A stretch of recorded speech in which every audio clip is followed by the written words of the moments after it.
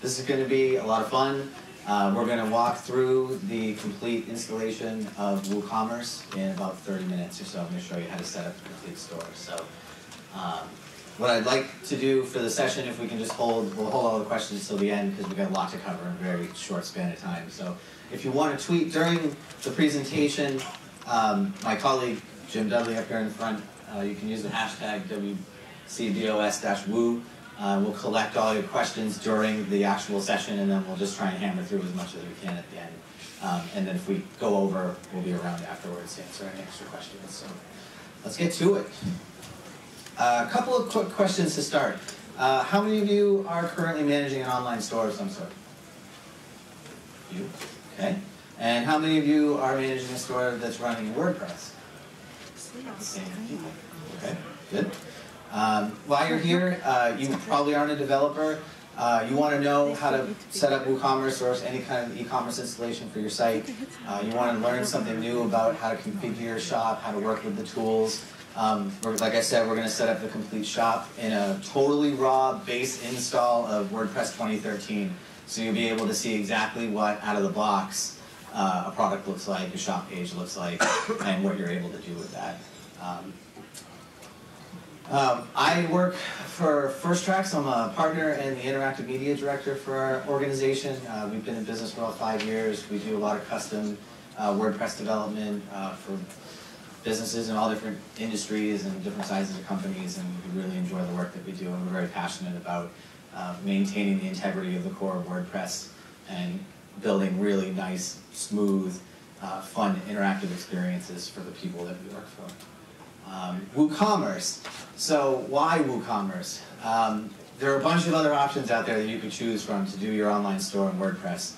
Uh, we've tried pretty much all of them, and we don't like them because they're clunky, they have bad database table structure, they're slow, they have very uh, customized interfaces that don't adhere to the core principles of WordPress. And again, it's just something that we're very uh, intent about staying true to in the work that we do. So uh, WooCommerce came along about two years ago. Um, it's been blowing up ever since it hit the streets. Um, it's been downloaded almost 1.7 million times in the two years that it's been around. Um, it's got a massive extension following already in the two years that it's been available. On Woo, Woo Themes alone, where you can download this, and it's free by the way, the actual core of WooCommerce. You can get it for nothing. Um, there's 210 extensions already that are a variety of payment gateways, uh, table rate shipping, um, social media integration, uh, you know, pretty much anything you can think of, people have written an extension for it, and if they haven't, the developer community, which we are also a part of with Woo Themes, um, is actively working to continue to extend and add new features to the platform. Um, there's also uh, extensive extension, that sounds like a little bit of a uh, oxymoron there, but um, CodeCanyon.net, there's also a humongous uh, repository of extensions there. I will say that you need to be a little bit more careful with those because they aren't officially sanctioned by Woo Themes and the, the code structures that they have available for their system. So to be a little bit more cautious with those. But for the most part, they're pretty good. Um, so let's get to it. So the first thing that we're going to need to have is a website in running in WordPress. So uh, I'm not going to actually like install the, the, website, but you know if you go to GoDaddy or HostGator or Bluehost or WP Engine or whoever, um, they always have one-click installs. Build up your website, have your database ready to go. We're going to jump into the admin and we're going to start putting in the necessary pieces to put our shop online. Um, the base plugins that I'm going to run for the install today, the only three things that I you know, uh, one of which is a core, two of which are core plugins that I put into every WordPress site that we do because they're just awesome and they give you tons and tons of features and flexibility. Um, and WooCommerce obviously is the, the main uh, necessary item that we have to have here. So I'm going to flip over, and this is the, you know, this is the raw install of 2013. We've all seen this before. And this is the back end, and I'm going to go to plugins and install.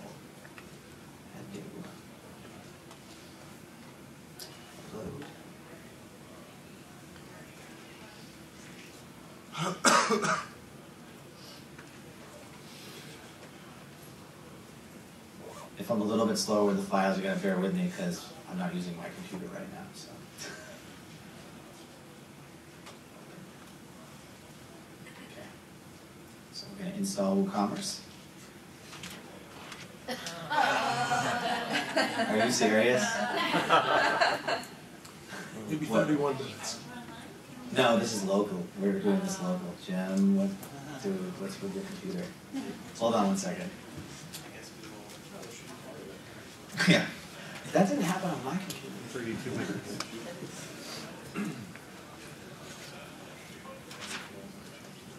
You'll just drop them in the.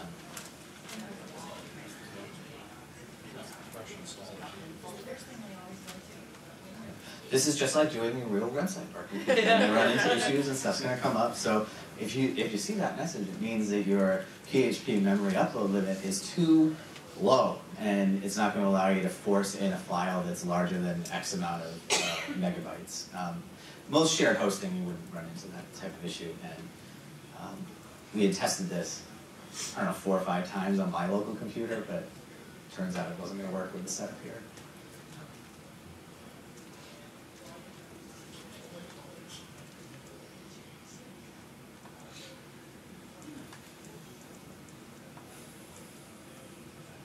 Yay! Success!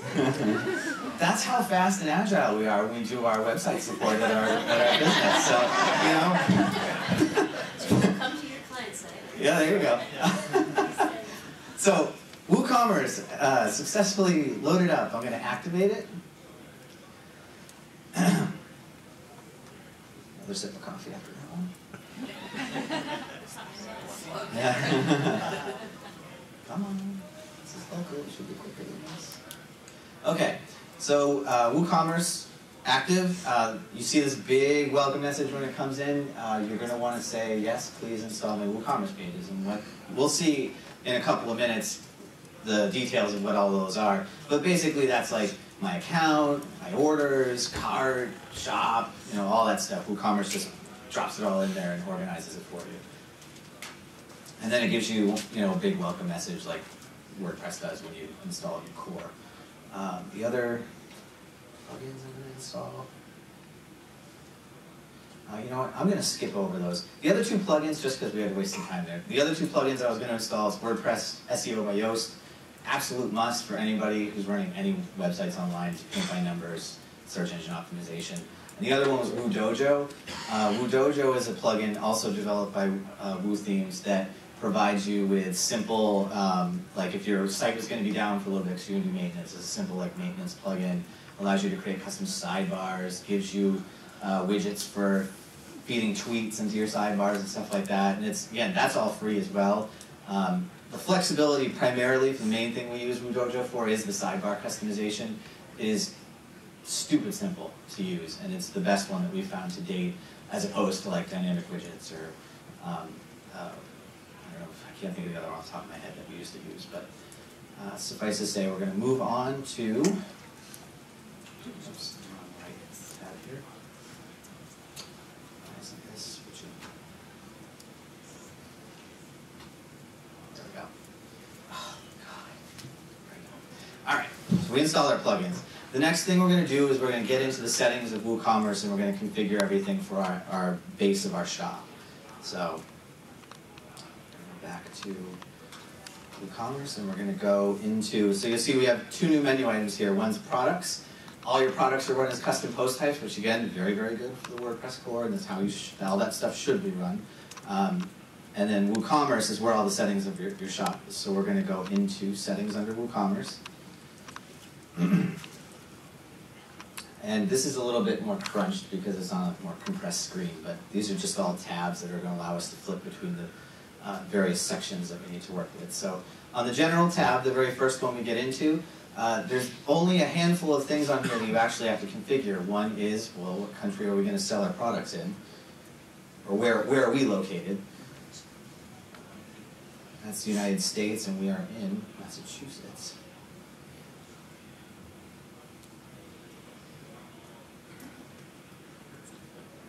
There we go. Uh, and I'm not going to sell in pounds sterling. I'm going to use U.S. dollars, and I'm going to sell my products all over the world because they're so fantastic. Um, and then a little bit further down, um, none of this stuff has to be unchecked. Um, and then You have some customization options. Again, the defaults that are in here, totally fine to start out with, unless you wanted to do seamless transactions with a payment processor like Stripe or Authorize.net.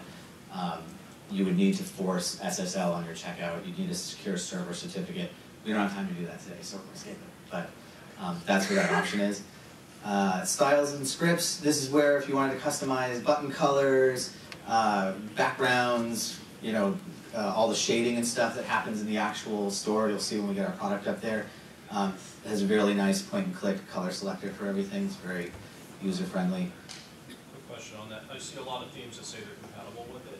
Will they auto adjust those colors to make sure they fit the scheme? No, it'll it'll unless you can uncheck the WooCommerce CSS options, and then you can use all the CSS that's contained in the plugin to hook off and write your own stuff. Um, I find it's actually a little bit easier to leave that on and then just override the, the minor items that you want because it's, it's actually very efficient how they put it all together. Um, and that's all we have to do on general settings. So we have to make sure that we click save at the bottom every time, otherwise not going to stick. Uh, and next we're going to move on to the catalog. On the catalog page, uh, we need to look I'm going to show you some drop-down options for how you can format your catalog pages. Um, you need to set your, your product data in terms of what units your products are going to be um, fed by in terms of their dimensions um, and what your pricing and image options are. So you have options for your, your uh, product pages.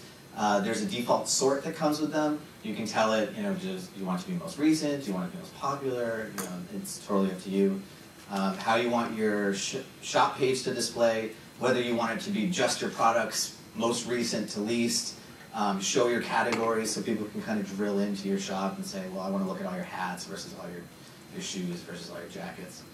Um, we're going to leave everything default for now. It's just stuff that you can tinker around with after you've got everything else set up. Um, because we're based in the United States, we're not using metric measurements, so we're going to change this to pounds and inches. Um, if you wanted to uh, disable ratings on your products, this is where you would do that. You just uncheck that and it totally kills the reviews tab uh, inside the shop. Um, if you want to change how your actual monetary currency displays in your shop, this is where you would do that. Um, it's good out of the box as far as I'm concerned.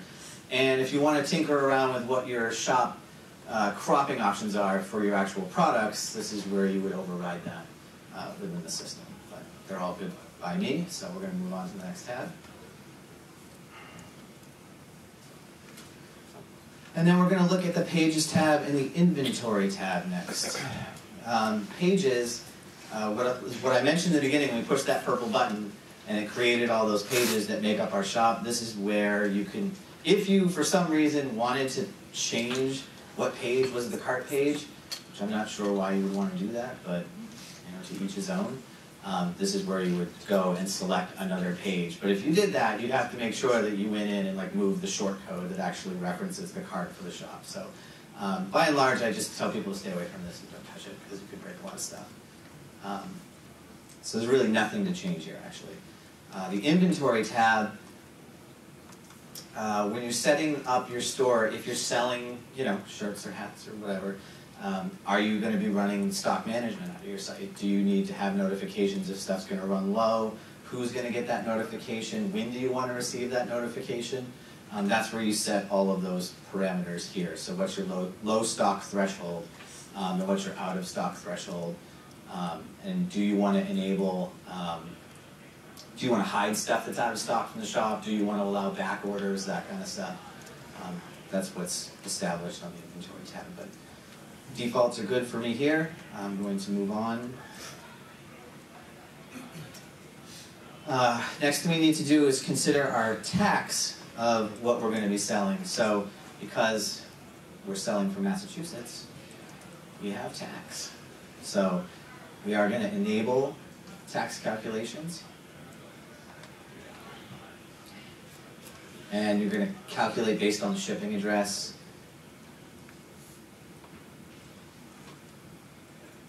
and the, the tax is, is based on the cart, not uh, the shipping. So we're going to save that adjustment.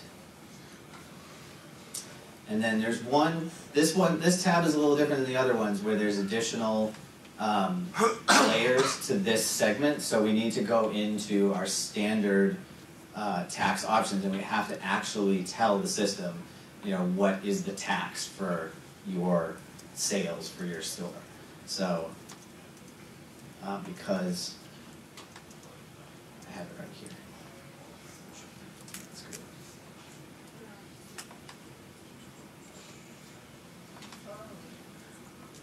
Country is US. State is MA.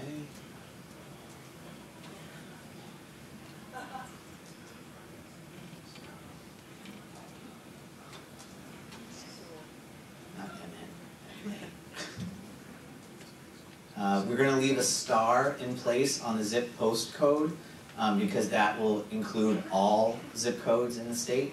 And we're gonna do the same thing on cities, because that'll include all cities in the state. Would I be able to use WooCommerce if I decide to open an online store where all of the items for sale are gonna be drop shipped from the manufacturer? Um, drop shipped from the manufacturer, uh, where are they? Um, hopefully somewhere in, well, they might not even be the US, just different locations, like I wouldn't have any inventory myself. Yeah, I don't see why not. I mean, as long as you were maintaining the stock, you know, levels for what, wherever the, the manufacturer was through your, your shop, you know, you'd have to communicate that with them and adjust that in your products. That would work. Um, uh, the rate is six percent. Six point twenty. That's a lot. Six point two five? Yeah. I don't know. I'm from New Hampshire, we don't have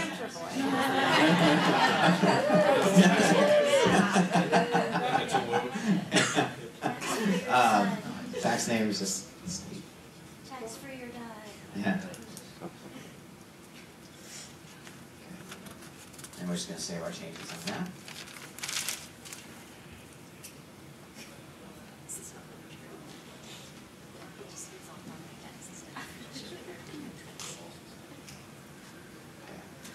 Um, the next part we're gonna configure is the shipping tab, so how do we want to deliver our products? Do, how do we want to make it available for people to choose the delivery of our products? Um, for our example today, uh, we're gonna keep this pretty straightforward, but there are, there are innumerable amount of, like I said, extensions for this product, so if you wanted to create, for instance, a whole table matrix of, you know, if it's two products, you know, it's X amount of dollars, or if it's six products, it's X amount of dollars. You can do that versus auto calculations with USPS, FedEx, UPS. Just requires you to have accounts with those providers and you plug in all of your API information in a nice neat interface that gets added to this submenu right here under the uh, uh, shipping section. So you, if you added the U, UPS extension, you just get another link that says UPS and then you would fill in all of your account information. And then that would add that auto calculation feature to the cart. Um, but for now, what we're going to do is we need to enable what shipping options we want to have. So I'm going to go with a flat rate shipping option. And the cost per order is just going to be $10. I'm going to save my changes. And then I'm also going to offer free shipping. Now, uh, what's really nice about how this works is, is that I can put in a, a, a modifier to say, I only want to offer uh, free shipping if a minimum order amount of fifty dollars is achieved. Because obviously, if we didn't do that, who would pay for shipping? I wouldn't pay for shipping. um, and that's all we have to do for our shipping configuration. This is a question about tax. Yep. If you have, like say in clothing, clothing is not taxable, but children might. You can create classes. So you can create multiple tax classes that get applied within the product itself. So the system will know if I'm buying one thing versus another, it'll apply the tax differently. Um, I'm just doing a basic one that's going to kind of cover everything for this example. Um, last three tabs we're going to run through is payment gateways, emails, and integrations. Um, sounds a little complicated, but it really isn't. Um, The payment gateways, uh, this is just like, similar in the way to shipping options. Um, we have all of these additional layers here that we need to go through to decide which things are gonna be actually active. The interface in uh, WooCommerce, the things with purple check marks are the things that are on um, for your actual checkout. So the only two things I'm gonna I'm gonna show you today is PayPal, and I'm gonna do check payment so I can actually process the transaction and not actually pay anyone because um, I don't. We tried to run the PayPal with the local install and it wouldn't work, but uh, I'm gonna show you where the settings are to, to connect all that together. So we don't want to do direct bank transfer, so I'm gonna go to the BACS and I'm just gonna turn that off. Save. And then I'm gonna go to check. And that's enabled. And you can rename like whatever the payment method is too. You can call it whatever you want. Um, it's up to you. But check payment works for me. I don't think I can get. Go away. There it goes. um, PayPal settings. So this is just PayPal standard. Um, all you have to do is put in your email address.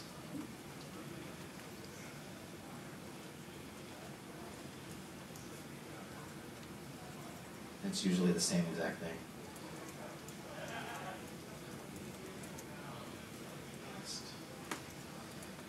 and you can give it a little bit of an invoice prefix too if you want to do like WC um, so that you know in your because if you're using your, your PayPal standard account and you're processing stuff from other venues, who had like buy now buttons on another website, you would know in your your your list like oh these are all things that came from my WooCommerce store, um, and that's all you have to set up. We're going to uncheck the PayPal sandbox because I'm not going to set up a developer account today. But you can set up a developer account with PayPal, check that off, and then you can run complete test transactions without actually being charged on your credit card, which is handy uh, from time to time. Um, all right, so emails and integrations are the last two tabs that we need to take a look at. Um, the emails configuration for WooCommerce is one of the best I've ever seen, where there's all these different customer interaction points that when you process an order, the system you know sends out like here's the new order. So you get an email that says somebody bought something from you.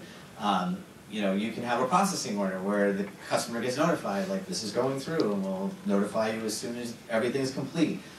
Every single one of those emails, you can customize the look and feel of them directly through this interface here. So if you have a header image that you want to put on the email, you can just put in the URL in this field here and it'll drop that at the top of your email. And then same kind of idea that we saw with the button and the CSS configuration for the plugin on the general tab. You can just pick the colors that are going to match the brand of your shop right here in the, uh, the general settings tab. So the extension of that reach when you process the transaction, it's you know very seamless with can be very seamless with the branding of your actual shop, which is a nice a nice feature of this that I haven't seen in a lot of the other programs. Um, the last tab that we're going to look at, integration. The only thing you really need to do here that I highly recommend that you don't forget to do is putting in your Google Analytics ID.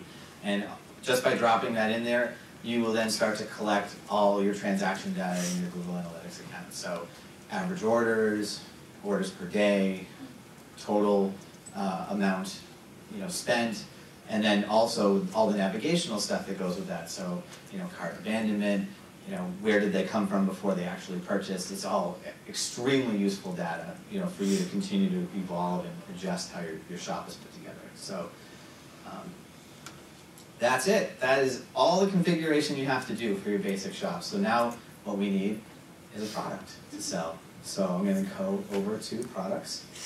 I'm going to add a product.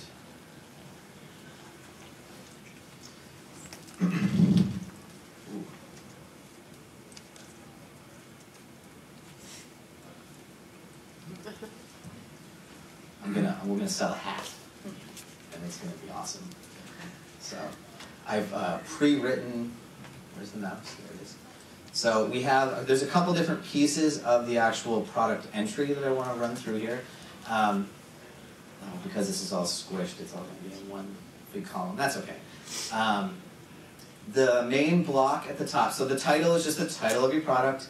Um, if we had adjusted permalinks on the install, it wouldn't be this awful gobbledygook thing, that would already be taken care of ahead of time. But it would change the slug of whatever the product is to be the name that you give it in the title.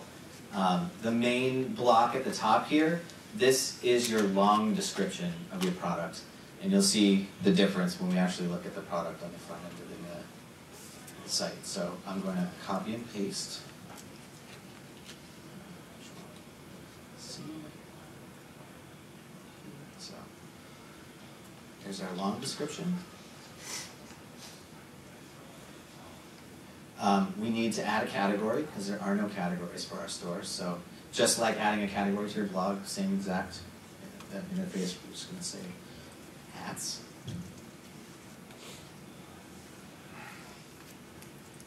And if you wanted to tag your product, you could do that too, like winter, you know, in hats, so that there would be a some way to classify all your winter hats. Um, the featured image is the main product image that shows up on the product page, so I'm going to set that. Question? Yeah. Is there a um, recommended image size for that For the, the main product image, when you upload it? um, that was set back in the uh, uh, catalog options tab, all the measurements at the bottom. I so. It was for your shop, the main catalog, and then the product page. Um, I usually go with something out of the box, uh, something that's I would say like 540 to 600, because it'll scale it. Woo is really good with their their image options, where they'll auto scale down. Um, if you're staying around 600 pixels, you'll be assured that the responsive stuff, if you get into a tablet and it goes a little bit wider in portrait, it'll still be able to support the resolution of whatever product is that you're putting in. So, okay, product ready to go.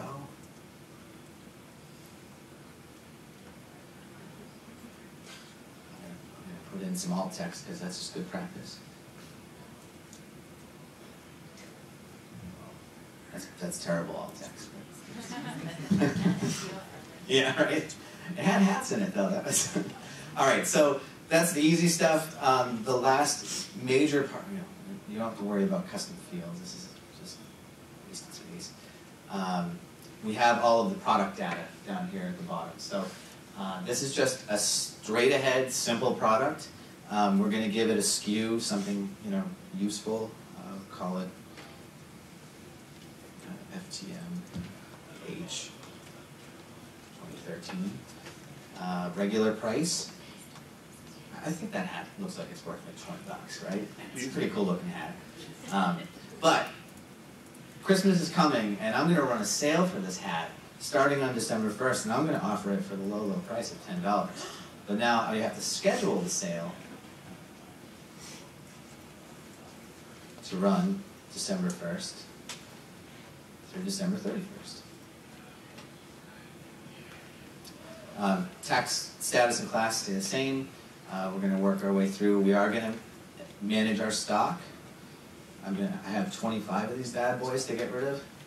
Um, I'm going to say in stock, and I am going to allow back orders because I'm assuming that with this sale, I'm going to blow through those in like two weeks. So I'm going to make sure I get get as many as I can on the books. And then we're going to move to weight. Now, because we're doing flat rate shipping or free shipping, the actual dimensions of the product don't really matter at this point. But I highly recommend when you, if you're just getting into this and you're just starting to, to start out and that's kind of how you're doing your shipping, get in the habit of always putting in your dimensions if you have them available. Because if you decide down the road that you want to go to an auto calculation setup, you would have to go back and then re-put in all the dimensions of all your products to make it work. Um, that's how USPS and UPS and FedEx figure out what goes into what box and how much it can ship it for. Oh, so you, you just need the product, but you don't even, I'm saying you need the size of it. Well, you you can preset again it's a whole other. We could spend like half an hour on just shipping configuration for those other stuff, other things, where you can specify what boxes you have available. But for the system to determine like how many things are going to fit into a particular box and what that's going to cost to ship, needs to know what the dimensions are of those things. So just I just highly recommend that you get in the habit of just putting in the dimensions if you have them available to you, even if you don't need them necessarily. Um, so weight, it weighs one pound, length six inches by eight inches by eleven inches. It's a tall hat. Um, no shipping class because we didn't set any of those up. Um, the linking tab for WooCommerce is actually a really powerful tool. So think about it this way. If you've got uh, a really full catalog of apparel, and I've got my beanie, and I also have like gloves and a pair of pants and long underwear that would go with that. Um, if it's already in the catalog, you can just click and start to type the products that you want to have recommended in association with this particular product. So when I'm looking at the beanie, underneath it, it'll be, you might also want to buy gloves and long underwear and shoes. Um, out of the box, by default, what WooCommerce will do is it'll look at the category that you're um, placing your product in, and it'll list other stuff that exists in that category. But the upsells and the cross-sells is a way for you as the marketer to say, I want to guide my customers into these particular places as opposed to just keeping them in the same vertical of that category. Um, What- What's the difference between the two? hmm? What's the difference between those two? Uh, cr- well, cross sells, you bridge across, you can bridge across anything, and it just depends upon how you want to you want to you know customize your, your marketing approach for that particular grouping of you know your product data. It- They both pull from the entire database. and They get li- listed in different rows of display on the actual product level, so you can have quite a bit of other additional recommendation of other ways that you want to send people when they're shopping in your store. Um, and it also goes into widgets as well. There's other widgets that come with WooCommerce that you can drop in your sidebar that will show recommended and linked products as well that will change based on what you're looking at inside the catalog, which is really powerful stuff too. Is that okay? Um, okay. Uh, we don't need to do oh attributes. I just wanted to quickly do this. We're gonna attributes are just you know what what are, how what is the product available as. So for a hat, we could do colors. And I love how easy this is to do. So I can say yellow, and then you separate the, the options with a pipe character. So these are yellow, red, gray, black. And then I can also add another and call it sizes. Small. Can't type. Okay.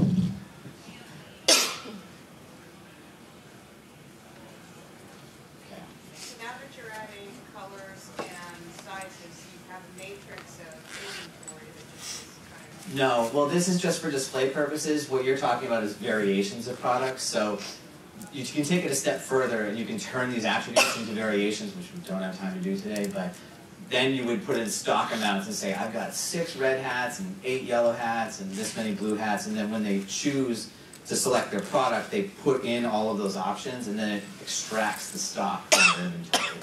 Um, it, and you can also uh, manage these globally, so you can have an attribute grouping. Instead of hand typing it like this every time, you can actually pick them out of the database so you can reuse them for later use. So if you had just one assortment, colors is one thing, and you had all the various colors available to it, you could apply that to any other product, whether it was a hat or shoes or shirt or whatever, which is a great, efficient, global way to manage all of those, those various attribute factors through your shop. But For this simple example, this is um, we're going to run with today. I'm going to save that.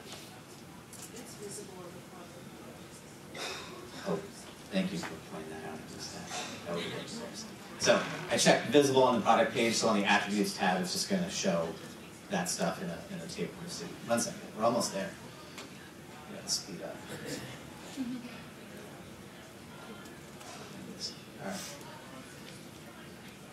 Short description. See, and then the short description at the bottom here, all that is is the uh, the snippet that appears right next to the product in its image, and we're going to save this, and you're going to see everything that I'm trying to describe to you. Publish. So we just set up our product.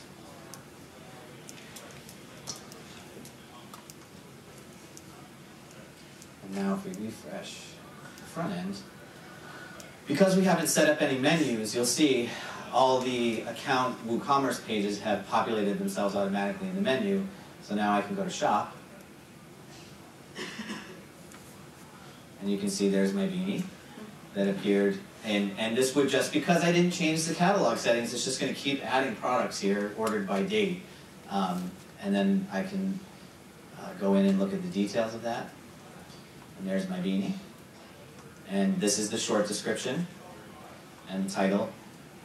And then your long description appears in the tabs, uh, additional information, this is where the attributes show up. And then if I wanna set reviews, this is that toggle, if I wanted to turn it off, that whole tab would disappear, but if you wanna submit a review for the product, that's just a pop-up, I can rate it. And that gets sent in as a comment, you have to approve it before it shows up on your product, I mean, it's just, it's, it's really slick and nice how this all kind of fits together. Um, so now I'm gonna add it to my cart. As fast as I can. Alright, so I'm gonna view my cart. Is there anything that's in there? Um, I don't have an option for free shipping here because I haven't spent fifty dollars. And I'm gonna go. I'm gonna proceed to checkout. And this is the simple checkout page.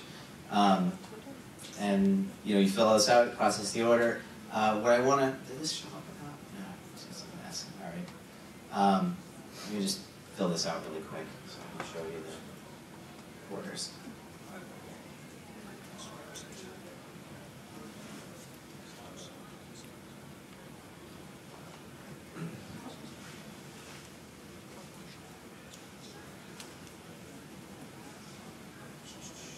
I like the drop downs for these two where they have the quick searches. Oops.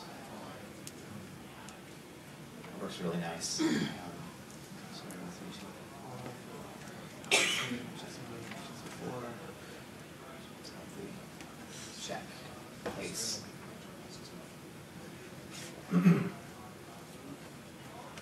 That's gonna think. And as soon as you put it in New Hampshire, then the tax disappeared. Yep. Yep. Uh, and now if we go back here to the back end, It's like, you didn't know Jimmy French, right? There's my order. So, uh, WooCommerce is really nice too about how the um, back-end order management works, where you have quick buttons to show you status. You can complete the order just by clicking this button here. You can view the details of it, gives you a complete readout, allows you to, to um, change the status of this from directly in the admin. All that information is exportable. And the other part that we're not going to get to spend a ton of time on because I know we're out um, is the reporting dashboard for WooCommerce is second to none in my opinion. There's, you know, if I could have gotten our other sites to load. If you want to go to a full example of a, a shop that we've built recently, uh, curlygirldesign.com. Uh, it's a, a, a shop down in uh, uh, Newton, Massachusetts. Uh, we recently uh, migrated them from WP e-commerce. They have about a thousand SKUs uh, in their shop, and uh, that's a really, you know, this is as basic as it gets. This is as raw as WooCommerce is right out of the box, but it adapts to responsive layouts. It's completely fluid. It's really light. It's quick. The Curly Girl site coming out of um, WP e-commerce, they got maybe 50% gain in overall processing speed just from changing the platform with no caching and no other sort of um, pre-build of their website at all, just just because it's WooCommerce and their average orders, everything across the board. There's a post on our, our website um, at the very. If you scroll all the way to the bottom to our website, there's a blog post that I actually just wrote, um, and I have a snapshot of their analytics from their first month. Everything is up an average of 25% across the board. Traffic, average stay, um, amount of pages viewed, uh, average order, um, total sales. I mean, it's just insane how making that more efficient and removing a step out of the cart process completely transformed how they were able to sell more and be more efficient and manage their stock and create less manual labor work of trying to finagle all the moving parts together and concentrate more on creating deals and coupons and specials and pushing those out to their consumer base and, and helping them to make more money on the bottom line. So um, I know I didn't use my, uh, my PowerPoint hardly at all. We were just the, uh, the details here, so we're just going to skip all these slides. Thank you for listening to my presentation. I know I kind of blew through that really quick. I hope you found this inter- interesting and useful, and if you have any other questions, I know we're out of time, I'm gonna hang around